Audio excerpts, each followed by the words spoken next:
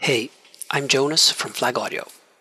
This is a short video of my module Prism of Perception. Specifically, using it to capture an audio snippet and use it as an oscillator, similar to a wavetable, also known as the volt per octave mode.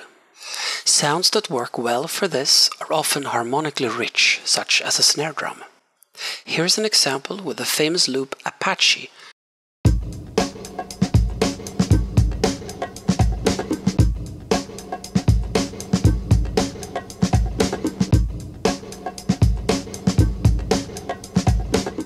time the freezing with the snares. I also time the mix control with the snares.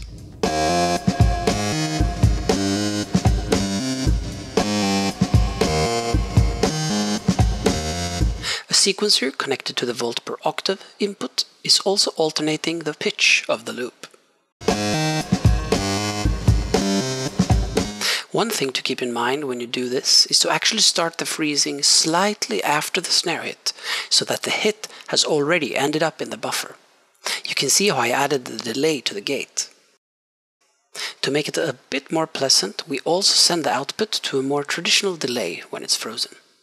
And finally, adding a little bass thing.